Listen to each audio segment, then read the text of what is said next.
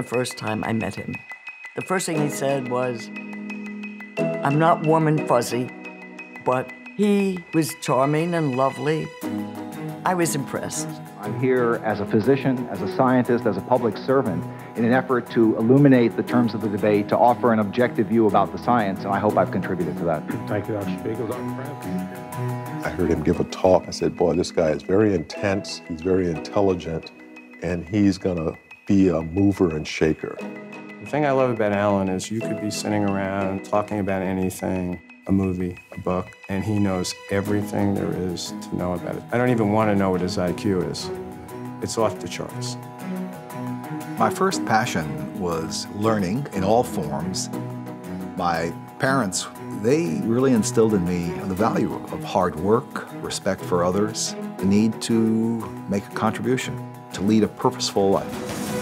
My parents were both from Lodz, the second largest city in Poland, and they had the misfortune, of course, of uh, being Holocaust survivors. They and what remained of their family, those who weren't already dying of starvation during the ghetto period, ended up in Auschwitz.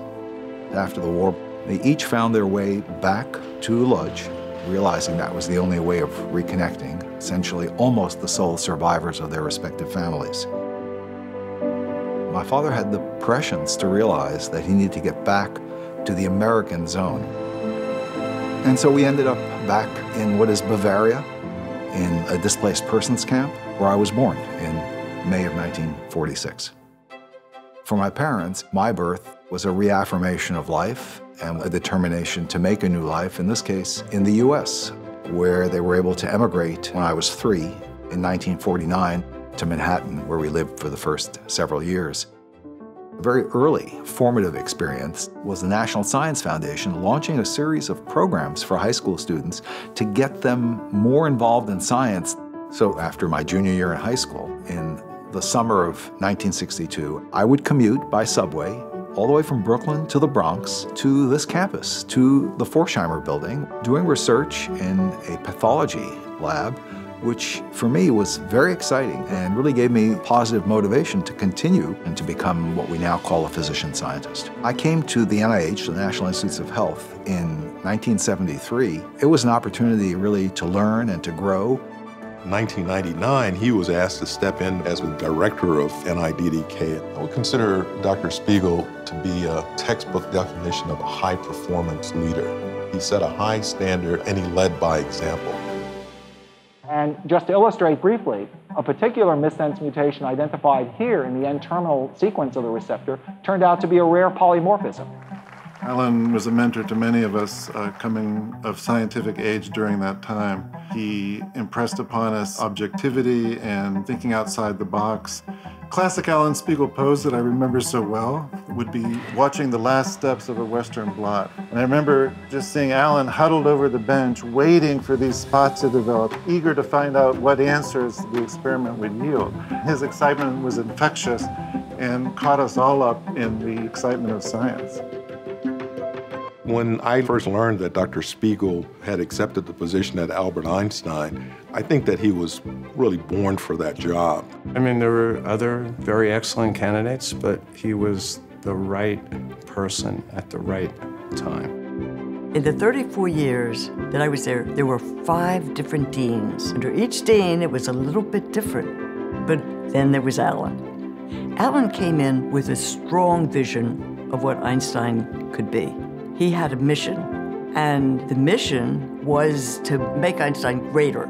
Under Allen's leadership, the Einstein campus is transformed. Shortly after he joined, the Price Block Research Building was completed. Magnificent building won architectural awards. There were new spaces created, and the renovations in all the buildings really made a huge difference.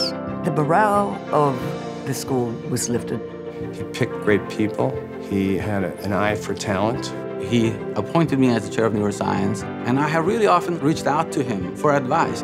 His greatest and most lasting legacy will be the merger with Montefiore. To have them together is a huge drawing card for the finest professionals, the finest doctors to come, fruitful for grants, for programs, Allen had the skills to make this transition work. Einstein is ranked seventh in the nation in National Institutes of Health NIH funding per investigator. $1.8 billion in NIH funding over his tenure and $500 million in philanthropy. Now, that's a record that any dean will be proud to have. To be a successful dean, one has to really relish and be committed to the success of others. What has been most gratifying is to see many of those outstanding research accomplishments of our faculty, which really have had an impact on human health. The fact that we'll, by the end of my deanship, have graduated 12 classes of outstanding students who will join the ranks of alumni who've made so many contributions research, in academic medicine, and in practice. If I could envision uh, the future Montefiore Einstein five to 10 years from now, it would be a thriving community with even more outstanding scientists, clinicians, and really improving the health not only of the Bronx, but of the city, of the country, and the world. If there's a single lesson I've learned, it's that being a dean is a tough job. but I have no qualms or regrets. I'm glad that I had the privilege and opportunity to do this.